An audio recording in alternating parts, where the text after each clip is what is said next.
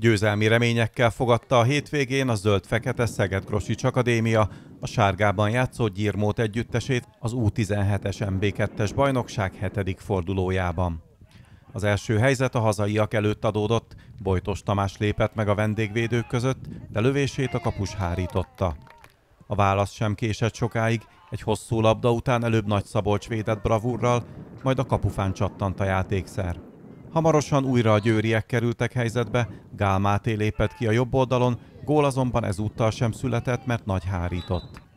A 24. percben Orbán Balázs tesztelte a kapufát, majd fél óra játék után ismét Nagy Szabolcs bravúrjára volt szükség.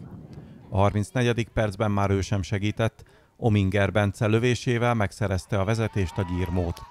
A második játékrészben nagyobb erőket mozgósított az egyenlítésért a Szeged Grosics, szinte egymást érték a hazai lehetőségek. Az 52. percben Lestyán labdájával Gidojus Tadler lépett ki, lövése azonban mellé ment. Hamarosan újra ő próbálkozott, de a kapus védett.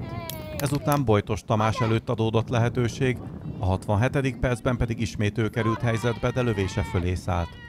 A túloldalon Nagy Szabolcs is hárított egy zicsert, de a Grosics lendületben maradt, Bohák beadását Bojtos fejelte mellé. Ezután az eset után a játékvezető a 88. percben kiállította a Gyulai Bokros Bonifácot, vagyis úgy tűnt, innen már nem áll fel a csapat, azonban a 91. percben Bojtos beadása után Gidojus Stadler mégis kiegyenlített.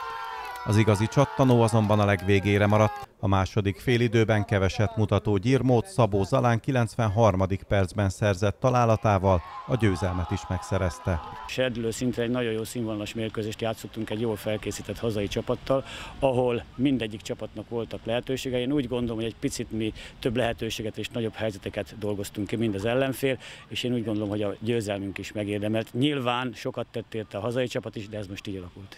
A Szeged Grosics Akadémia a második félidei teljesítménye alapján rászolgált volna az egy pontra. Második félidőben egy kicsit átalakítottuk a játékrendszerünket egy 4-4-2-es felállásba. Sokkal több lehetőséget teremtettünk az ellenfél kapuja előtt. Végén sikerült ki is egyenlíteni, amit sajnos egy utolsó utáni szöglettel gyakorlatilag megpecsételték a pontszerzésünk sorsát. Az Akadémia U17-es csapata a hétvégén az Újpest otthonába látogat, utána a Szexárd utazik Gyulára.